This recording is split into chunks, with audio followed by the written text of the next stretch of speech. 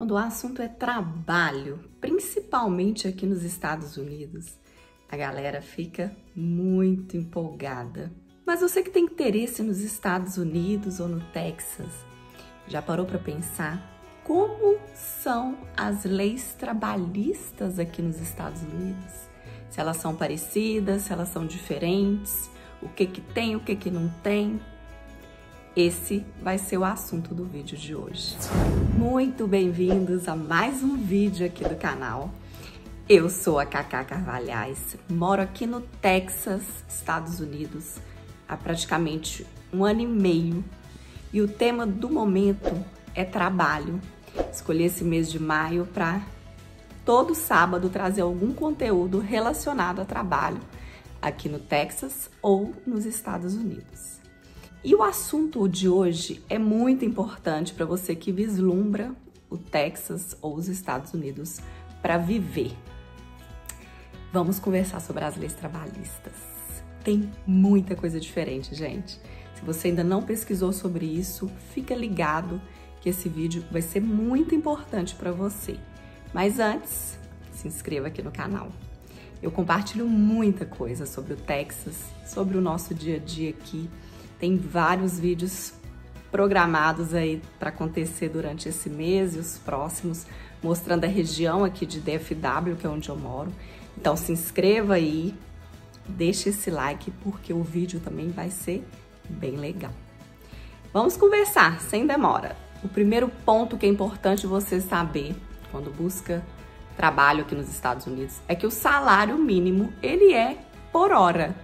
Ele é definido por hora né? Não é igual no Brasil que geralmente você tem o um cargo ali, seja analista, seja pleno, sênior, aí você tem os, os níveis salariais de acordo com aquele cargo. Aqui o salário é definido por hora. Então tem o um mínimo, que é diferente de um estado para outro. No Texas e, na verdade, nacionalmente, o mínimo tem que ser até 7,25 a hora, mas esse valor varia de acordo com a sua empresa, né, com o trabalho que você vai desenvolver. Geralmente eles pagam mais que isso, ou você complementa isso no, na, no seu trabalho com gorjetas, dependendo do que você faz. Quanto a limites de jornada de trabalho, o limite são 40 horas semanais. Passou dessas 40 horas semanais, você recebe hora extra, né, dependendo do seu cargo, e essa extra pode chegar até 150% do valor da hora. Porém, esse limite ele é definido por lei para semana. Então, vamos supor, se você trabalha mais de 8 horas no dia, não conta como hora extra a nona hora, por exemplo. É definido por semana. Então, se você passar das 40 horas dentro daquela semana, aí sim você tem a definição da hora extra, você tem o pagamento da hora extra. Antes de continuar conversando sobre as leis trabalhistas, vou deixar um link aqui embaixo para te ajudar a começar a falar inglês. Vale a pena estudar online, que seja, né, que, que é o curso que eu indico, porque se você vislumbra Texas, Estados Unidos, você tem que ter o inglês básico, pelo menos, tá bom? Então vou deixar o link aqui embaixo, clica aí para conhecer. Se gostar, começa a fazer o curso que é muito top.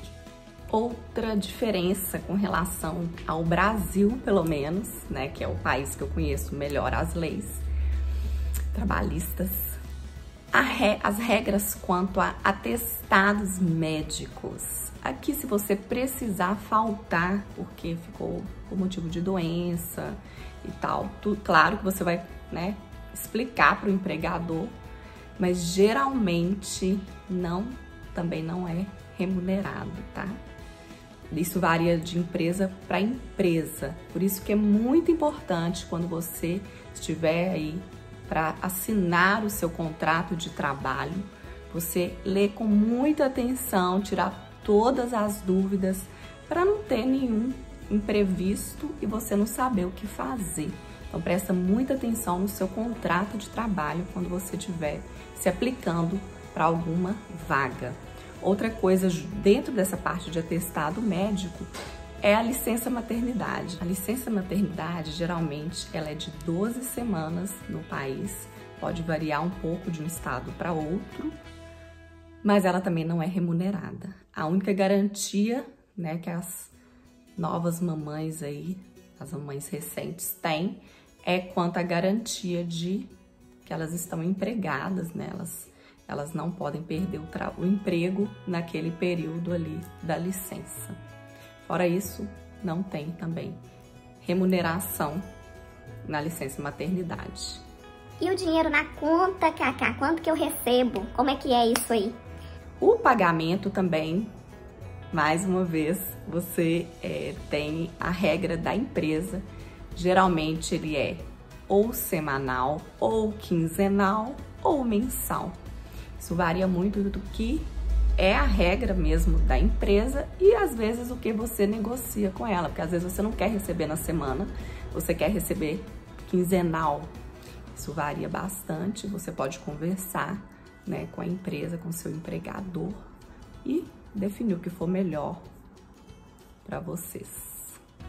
Eu falei um pouco antes aqui no vídeo que você tem que prestar muita atenção com relação ao seu contrato de trabalho, porque aqui nos Estados Unidos você não vai ter aquela famosa carteira de trabalho, é igual a gente tem no Brasil, né, que escreve lá seu cargo, seu salário, tem uma página lá com tanto de coisa da lei. Não tem isso aqui. Você vai ter o contrato de trabalho, por isso tem que ler bastante, tá tudo lá explicadinho no contrato. Mas carteira mesmo de trabalho, aquela né, famosinha verdinha aí que o azul não me lembro que tem no Brasil. Aqui não tem carteira de trabalho. Você sabia disso? Deixa aqui para mim nos comentários. E muita gente reclama, né, do Brasil. Ai, eu não aguento mais o Brasil. A gente é injustiçado. Mas você sabia que aqui a gente que mora aqui, né, o, o americano, os trabalhadores americanos, tem muito menos direitos trabalhistas do que o Brasil, por exemplo.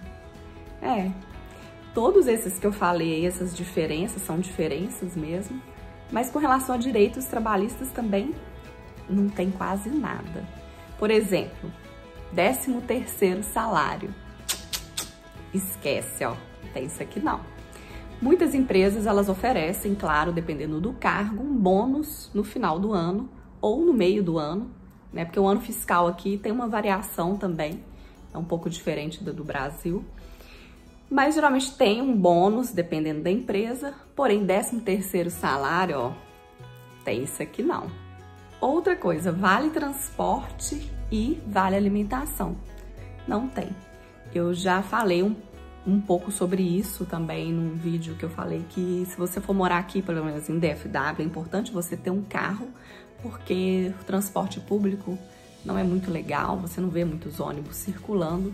Então tudo aqui você precisa de carro e geralmente a empresa não oferece, é só se for um cargo, sei lá, de vendas, que você usa carro, né, assim, com muita frequência, mas geralmente não tem, você que dá conta aí do seu transporte. E não tem também vale transporte, né? Porque geralmente não tem ônibus. e auxílio combustível também, muito raro, né? Geralmente eles já englobam esse valor aí pensado no seu salário. Então, vale, alimentação. Algumas empresas também, dependendo do cargo, você vai ter refeição no local. Mas o vale alimentação, igual tem no Brasil também, não tem isso aqui.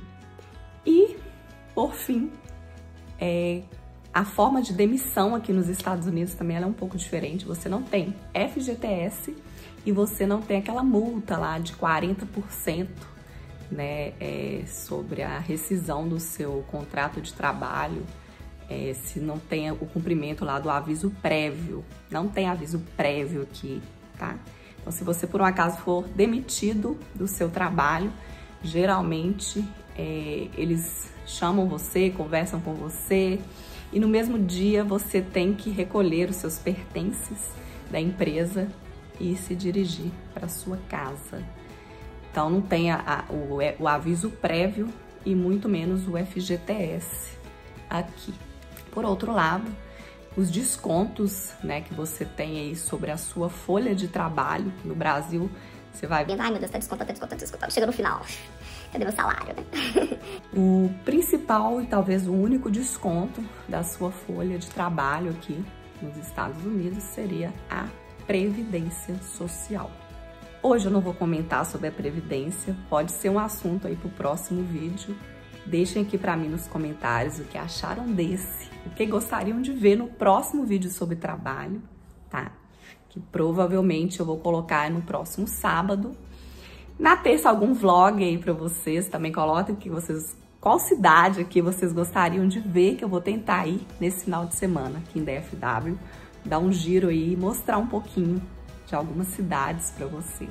Tá faltando isso, eu tô querendo sair um pouco, dar uma volta e mostrar um pouquinho da, da região aqui para vocês. Espero muito que tenham gostado. Se gostou, like, like, like. Me ajuda muito o, o, os comentários de vocês, a inscrição de vocês, os likes, para me ajudar a fazer o canal a crescer e eu continuar trazendo aí alguns conteúdos interessantes para vocês. Um beijo, bom restinho de final de semana e até o próximo vídeo. Tchau, tchau!